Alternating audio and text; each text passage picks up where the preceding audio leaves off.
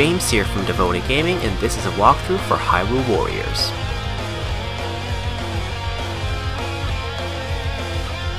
Hey guys, welcome back to the walkthrough. Today we're off to the Sorceress of the Woods, which takes place in the Faron Woods. And the character we're recommended to use is Link and his magic rod. Because its fire-based damage is needed.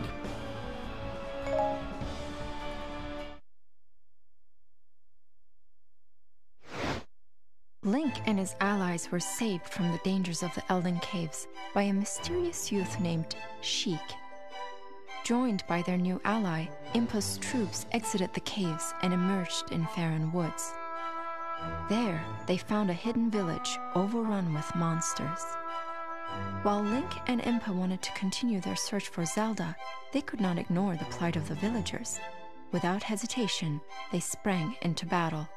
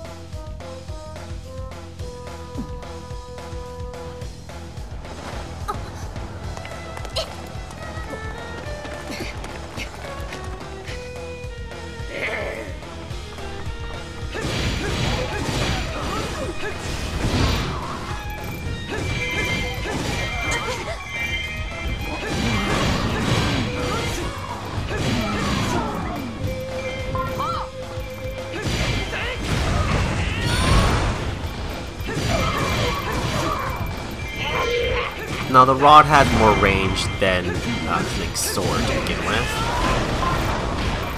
It's pretty unique. So we got Deku Babas appearing, which spew poison all over the place. And you cannot approach it to destroy it. You have to find a certain equipment piece to defeat those. And of course I'm waiting for the game to tell me about it. Or, know, decide to let me read about it, because they don't tell me don't talk. They grunt at me. So basically, the piece of equipment we need is a bow and arrow, because we can shoot at the plant from a distance and not be poisoned by them. And I'll mention it now slowly. While they slowly catch up, I'm going to take South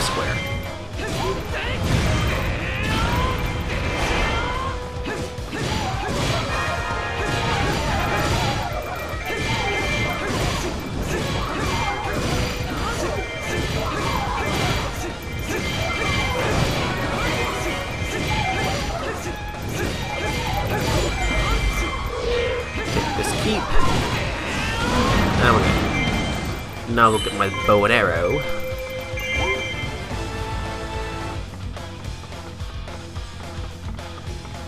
Um, sneak past these two plants. And you should be over here. The game eventually tells you where it is exactly if you're having trouble finding finding it.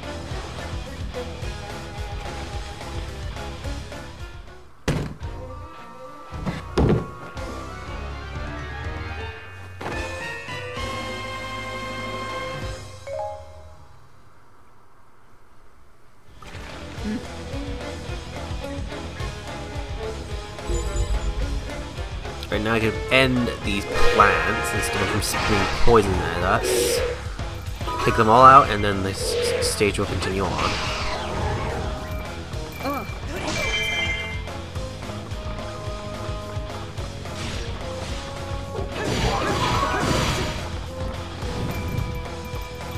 Let's take out this outpost captain too while I'm over here.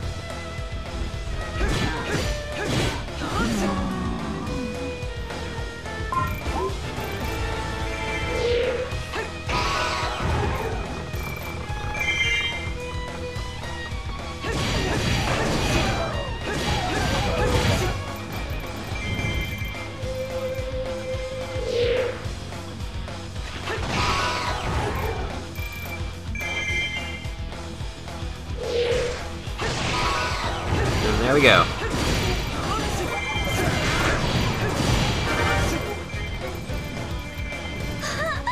Now for the next gates to open, and I believe Lana decides to start retreating back to the Deku tree. And we're introduced to a new type of enemy, which is these Gildos, Gilbos, or whatever. You want to be careful when they do that wind thing, because if you get caught in it, you're frozen for time, leaving you wide open for an attack, which is not good. Alright, let's take this point and move my way up to the northern center of the field. I am not helping retreat, she's fine, there's nothing really in her way.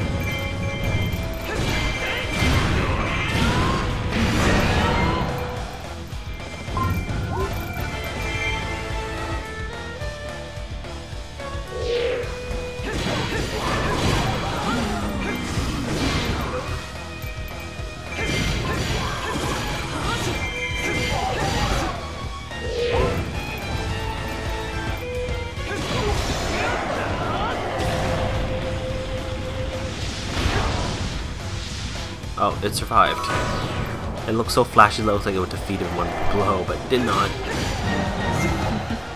Let's take this base too. Me being in the center won't do anything. I know that. Nothing will really trigger.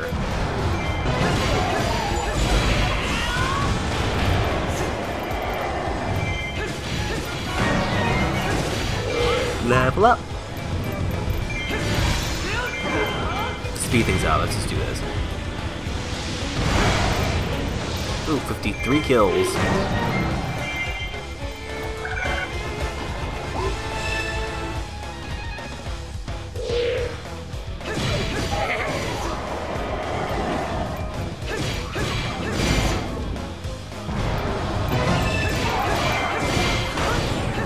Look out, Link.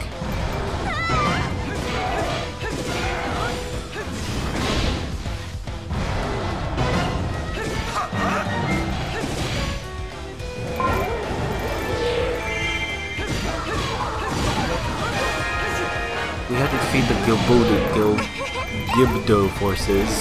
I defeated a few of them already. I gotta defeat the rest of them. And I head toward Deku Tree.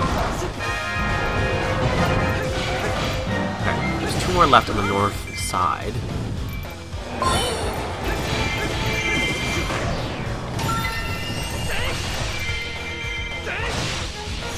Once the arrow's powered up with the power-up item, it's actually pretty decent. The widespread attack is useful for clearing crowds.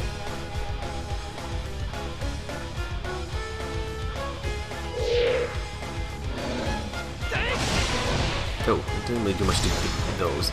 Let's do the focus spirit thing. With the fire rod.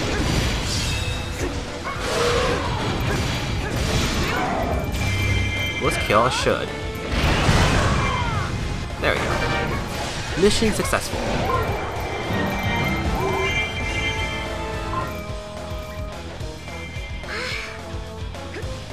I think the wizard does something here.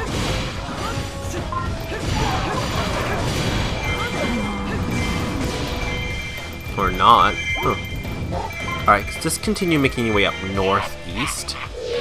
Because the next mission starts there. Save, save time to go there now.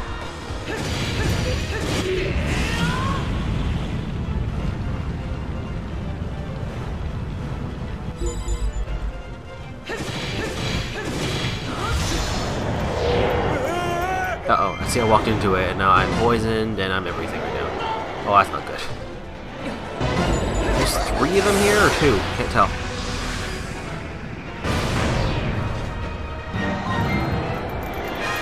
And now there's a great fire happening at the Great Deku Tree. So I need some way to put out the fire. And I think we need the Great Fairy's help again. And the altar for the fairy should be in the northeast section.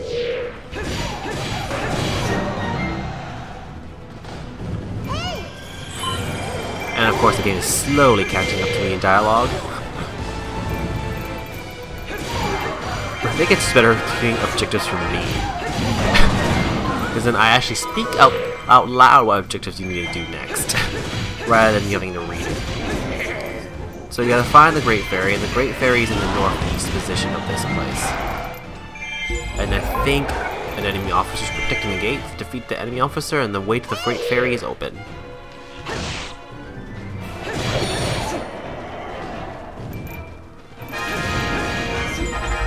Yeah, I already covered that. Defeat the great whatever.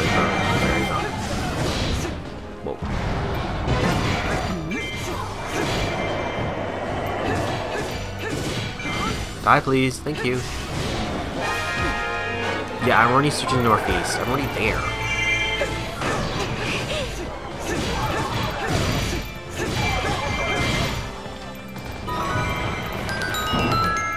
The fairy fountain's open. Let's do it.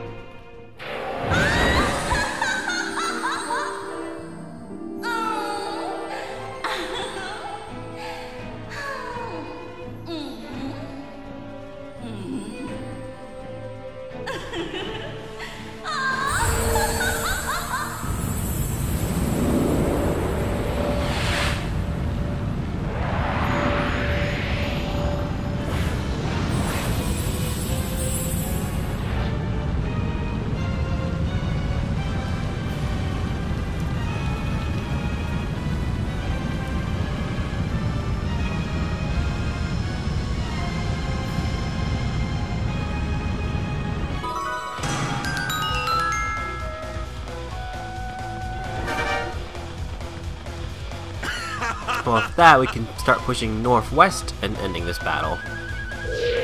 Of course, the Skulltula did appear once I reached 1000 KOs, but as I mentioned before, I'll cover those in a separate video. Because you gotta play through this stage multiple times anyway to unlock the hearts for specific characters.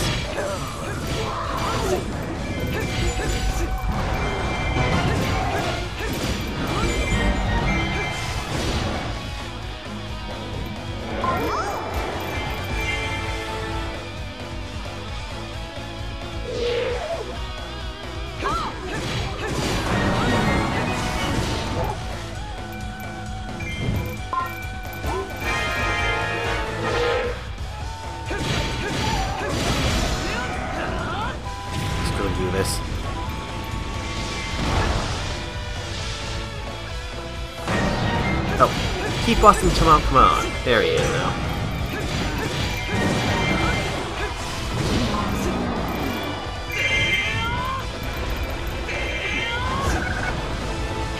And we got this. One more race to go.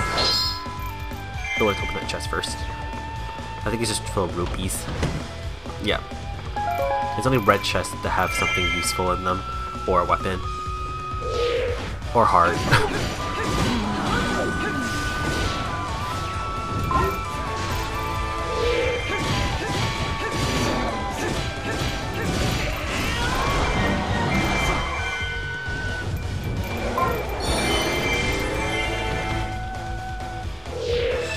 and Wizzro retreats, so he's not the boss.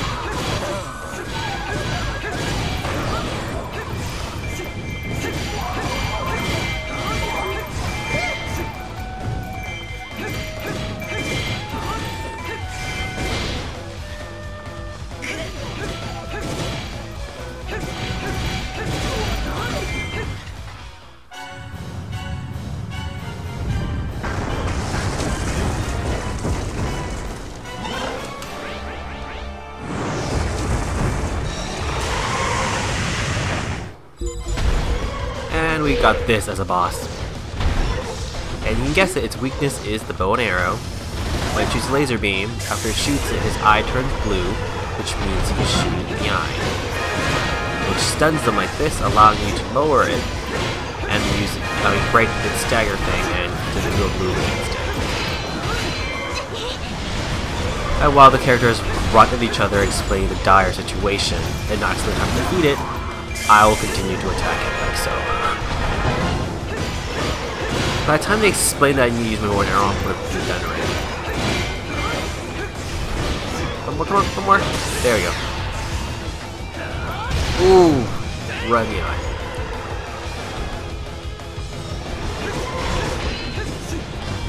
If you don't defeat it fast enough, it won't jump away and heads to somewhere else on the map. I think I'm gonna make it in time.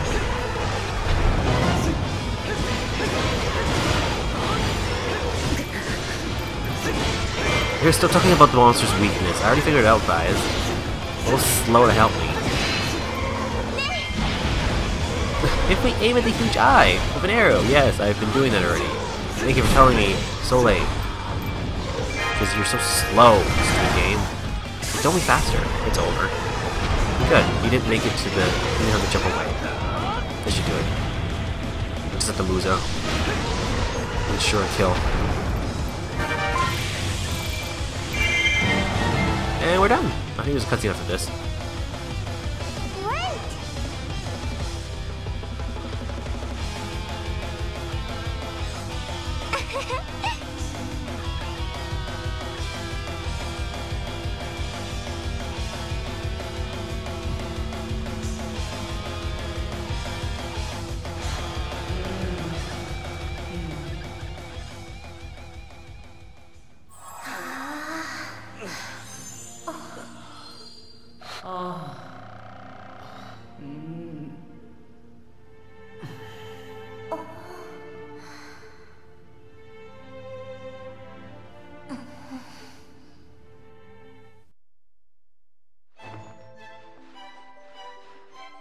Generations, Hyruleans have told the tale of the war across the ages.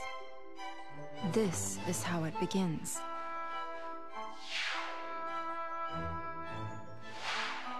Deep in the forests, far from mortal eyes, a great sorceress watched over the balance of the Triforce.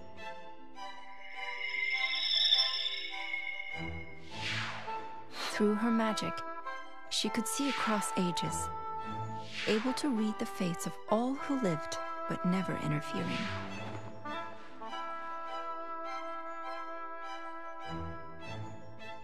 That is, until a unique soul caught her attention.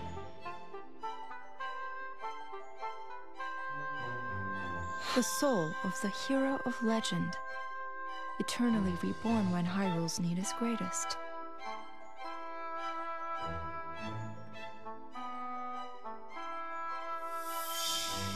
Through her powers, the sorceress should have seen that the hero was bound to another.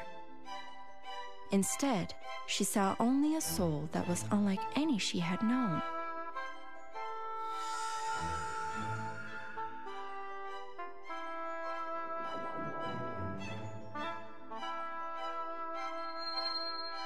And while the sorceress was preoccupied, a fragment of darkness, locked in its prison, saw an opportunity.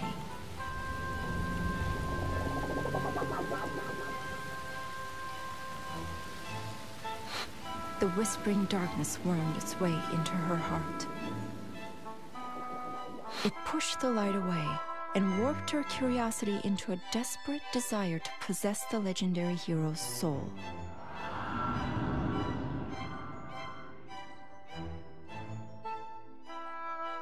Of course, this evil had its own desires. To use the Triforce to resurrect itself and conquer Hyrule once again.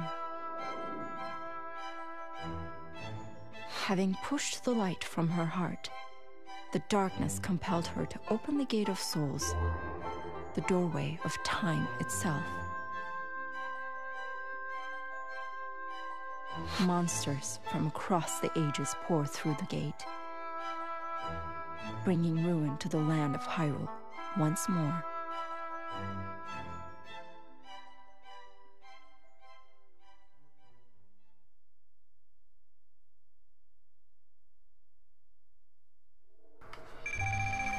And that's the end of the stage. Thanks for watching, guys. Don't forget to like, comment, and subscribe.